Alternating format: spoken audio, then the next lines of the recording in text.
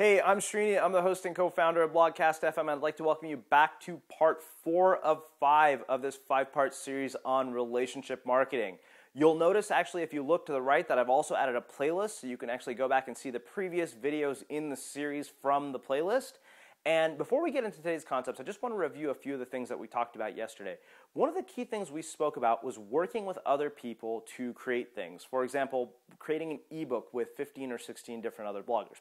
Today, I want to talk about finding the right people and what you have to look for.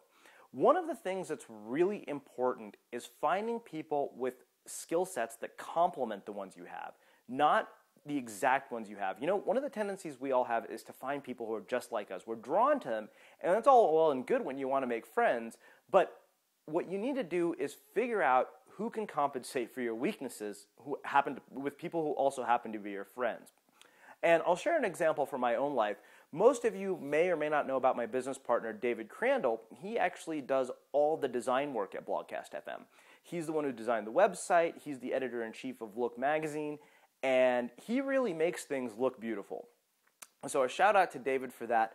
But the thing is, I come up with a lot of the content concepts, and they wouldn't be nearly as well executed if I didn't have David to filter them through and, and, to have him really make it look better than I could ever make it look on my own.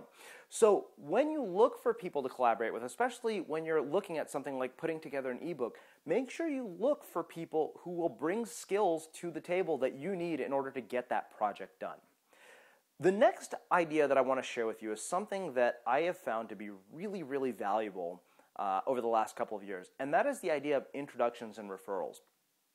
One of the things that I made a point to do was introduce people who would benefit from knowing each other. So, introduce two people to each other who would get some benefit from knowing each other.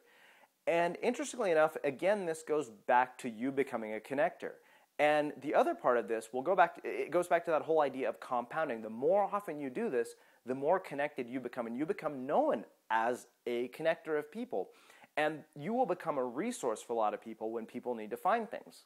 The and that can also lead to other things. You may end up collaborating with those people, you may end up doing business with those people. The other idea I want to share with you is the idea of introducing people to your network. Uh, many of you have probably seen Follow Friday on Twitter. And one of the things that a lot of people do is they will actually group a bunch of people and say, follow all these people.